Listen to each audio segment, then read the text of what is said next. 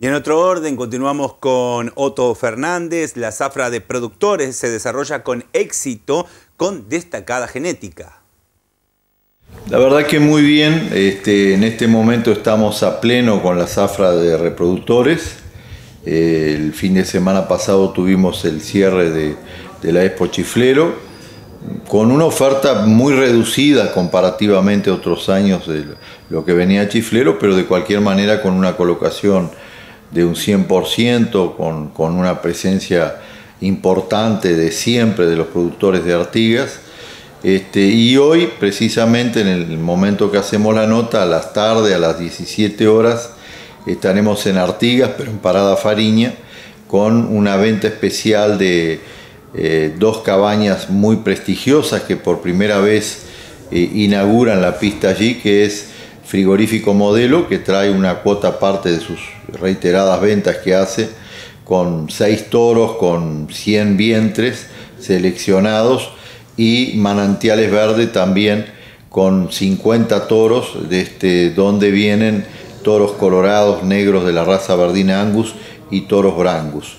Son 135 vientres este, negros y colorados, Pedrigue y SA, estaremos rematando en el día de hoy, este, que es un poco, digamos, el, el componente de todas las semanas que venimos teniendo varios remates en la, zafra de toro, que es el momento en que los productores salen a la procura del reproductor, del toro, para asegurar eh, la eficiencia y, la certeza de, sacar mucho ternero. ¿En qué grado fue menor la actividad este año en la Expo? Bueno, es en la oferta de, toros. Eh, no nos olvidemos que estamos en una situación de resguardo. Hay muchos cabañeros que son de avanzada edad y por decisiones a veces de, no exponerse, de no venir, mismo de gente que está aprovechando el momento del mercado para vender.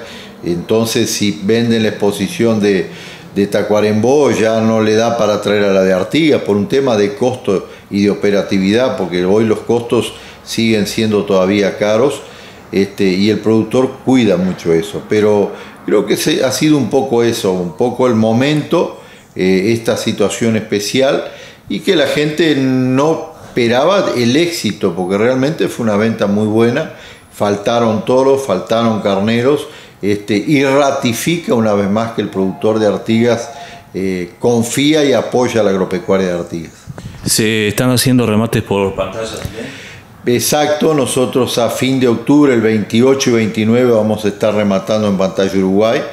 Estimamos que vamos a tener una oferta importante dado a lo, que está aconteciendo en cuanto a, que el tiempo se ha retraído un poco en la lluvia y eso conlleva que la gente tome algunos recaudos de, vender alguna categoría que la vende más adelante. Este, y bueno, y ha aparecido un poco más de oferta, ofertas en todas las categorías, pero particularmente lo que son ganados de cría, vacas preñadas, alguna categoría como ser vacas de invernada que, se están vendiendo. Eh, Pantalla Uruguay ya debe estar al día de hoy con más de 8.000 vacunos este, y en esta semana, el viernes 23, estaremos en Parada Fariña con 400 vacunos, con 500 lanares en todas las categorías.